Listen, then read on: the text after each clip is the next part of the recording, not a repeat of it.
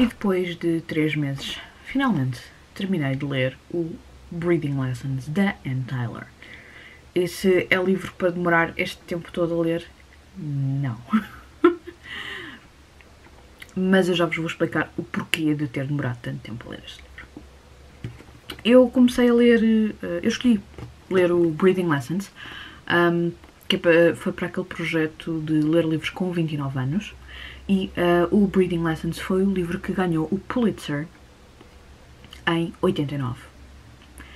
Foi a primeira vez que li Anne Tyler, e eu já tinha curiosidade em ler alguma coisa da Anne Tyler, porque um, no Booktube, especialmente no Booktube uh, estrangeiro, só ouvi coisas boas sobre, sobre este livro. E por isso mesmo, um, quando vi que era o livro que tinha ganho o Pulitzer e como havia aquele projeto de ler livros com, com a nossa idade, da, da Miúda Geek, eu achei que era uma, uma excelente oportunidade para experimentar ler Anne Tyler. O Breathing Lessons é basicamente sobre um casal, mas mais uh, a esposa do que o marido, uh, e a, uh, Talvez também um pouco sobre a sua relação, mas os eventos acabam por acontecer ao longo de um dia apenas. Nós conhecemos a, a Maggie, Maggie Moran, e o seu marido que é o Ira. A história decorre ao, ao, longo do livro, eles uh, saem de manhã de, de, casa e supostamente vão para um uh, funeral de portanto do marido da melhor amiga da Maggie. E ao longo do livro nós vamos conhecendo melhor estas personagens, vamos um, há muitas reminiscências ao passado, vamos conhecer uh, como é que uh, este casal se conheceu, uh, como é que era a vida da Maggie antes de conhecer o Ira, qual foi a razão que, que eles conheci, que se conheceram. Por acaso foi uma situação bastante caricata, mas uh, não deixa de ser uh, engraçada. Como é que eles depois casaram e se mantiveram juntos ao longo destes longos anos, porque eles já são um casal ainda não idoso, mas que caminham para, para isso. E vemos também as suas, os seus filhos, a relação que eles têm com os filhos. Obviamente que não é um livro que tenha. que seja muito rápido. Um, e, e, talvez essa ser uma das razões para eu ter demorado tanto tempo a ler este livro. Um, porque, imaginem, livros que não são comparáveis, não são comparáveis mas imaginem um, um thriller ou um livro de suspense um, que nós temos a cada página há sempre aquela um, aquela coisa de eu tenho que saber mais, eu quero saber o que é que vai acontecer a seguir e este livro eu queria continuar a saber o que é que ia acontecer a seguir, o que é, para onde é que estas personagens iam ou de onde é que elas vinham, no caso de quando, é, quando fala do passado, mas não havia aquela. não havia a urgência de eu tenho que saber isto agora.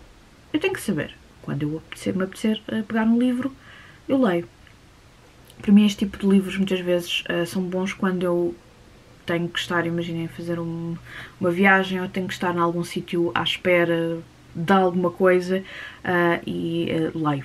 Porque o que acontece nessas alturas é que eu só tenho, só tenho livro como entretenimento e, e por isso mesmo vou lendo de uma maneira compulsiva. Um, para ser um livro que, como eu muitas vezes leio quando estou mais uh, por casa, um, em que eu faço uma paragem de 10, 15 minutos, que às vezes tornam-se meia hora, mas não interessa. Um, mas que posso entrar e sair dos livros normalmente tenho vontade mais de parar nos livros quando eles têm um ritmo mais acelerado. Um, e não acho que isso seja um defeito do livro. É uma questão de preferência na, na minha maneira de, de ler uh, consoante o tempo que tenho uh, eu acabei por dar este livro 4 estrelas eu acho que todos nós temos um bocadinho de Maggie A Maggie é daquelas pessoas extremamente otimistas, que está sempre.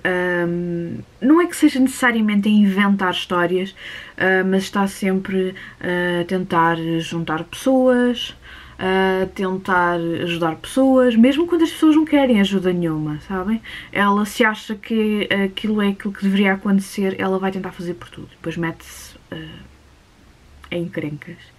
E o marido tem uma paciência de santo uma paciência de santo com ela.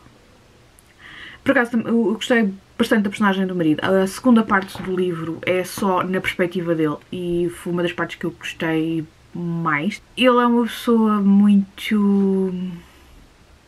ligeiramente. Ele é realista, mas ao mesmo tempo é um bocado insatisfeito com a vida porque ele gostava de ter estudado, ter ido para a universidade e ser médico. Mas um, por razões da vida familiar dele, ele teve que uh, ir trabalhar e desistir de, de, estudar a seguir ao liceu. E depois, entretanto, casou com a Maggie e acabou por ficar sempre onde estava plantado e, e não, não concretizou os sonhos que, que, que tinha. Depois é uma pessoa que é muito. é um pouco introvertido. Lá está, coisas que têm a ver com a maneira como a própria dinâmica familiar que ele tinha em casa. Se quiserem experimentar este livro, insistam na leitura. A primeira parte não é que seja aborrecida, porque nós vamos eh, conhecer a, a dinâmica entre a Maggie e, e o Ira. E algumas das, de alguns dos, dos, amigos da Maggie bastante marados. Uh, mas eu acho que a melhor parte é um, a parte em que nós conhecemos a perspectiva do Ira e a parte mais final, em que nós conhecemos um dos filhos da Maggie e do Ira, o filho mais velho, que eu agora não me recordo do nome, mas não interessa, uh, e que vamos, conhecemos a neta e a ex-nora. E nós vamos ver os esquemas que uh, quase inconscientemente uh, Maggie queria para tentar voltar a unir a Nora e o filho e para ela ver uh, a sua neta e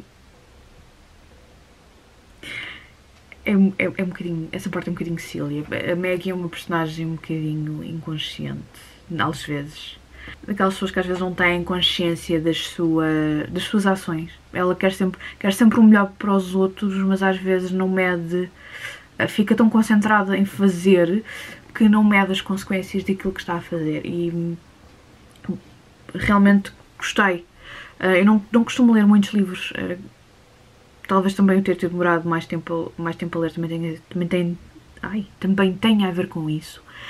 Um, eu não costumo ler livros que tenham um, tanto desenvolvimento de personagens uh, versus mais ação na história. Normalmente é o contrário, eu costumo ler livros que tenham mais ação na história. Tem, não quer dizer que não haja desenvolvimento das personagens, mas uh, a ação é, é superior. E também normalmente são os tipos de livros que eu à partida escolho. Mas tem sido interessante experimentar este, esta outra maneira de, de escrever histórias e de contar histórias, mais centrado nas personagens. Estamos a espreitar um, para o que é a vida destas personagens um, durante um período de tempo, neste caso um dia, um, mas ao mesmo tempo também estamos a conhecer muito do passado destas personagens gostei. Não é o tipo de literatura que eu costumo ler. Uh, se estou interessada em ler mais Anne Tyler, uh, sem dúvida. Se já leram alguma coisa da Anne Tyler, recomendam-me algum livro dela. Eu realmente fiquei interessada em ler mais coisas dela. Uh, se é o melhor livro dela, não faço a mínima ideia. Se um, foi uma boa escolha para o Pulitzer de ficção, também não faço a mínima ideia. Eu não costumo ler muitos livros de prémios literários. Um, é assim uma, uma também uma, uma, novidade nas minhas leituras. Mas também acho que está a ser interessante ver o que é que, o que, é que tem sido premiado nos últimos anos. ah, neste caso este foi há 29 anos, mas eu sei que tenho aí outros livros que, ah, que, que, devo ler brevemente, que também ganharam alguns prémios e que são um bocadinho, um bocadinho mais recentes. Um, mas tem sido, tem sido interessante experimentar assim uh, coisas novas. Uh, lá está, se tiverem lido alguma coisa da Anne Tyler ou se conhecerem algum outro livro que tenha ganho o Pulitzer, digam nos comentários. Já leram este livro? Ficaram interessados? É um livro que eu também não posso falar muito mais porque hum, eu acho que depois começa a entrar uh, no reino dos spoilers.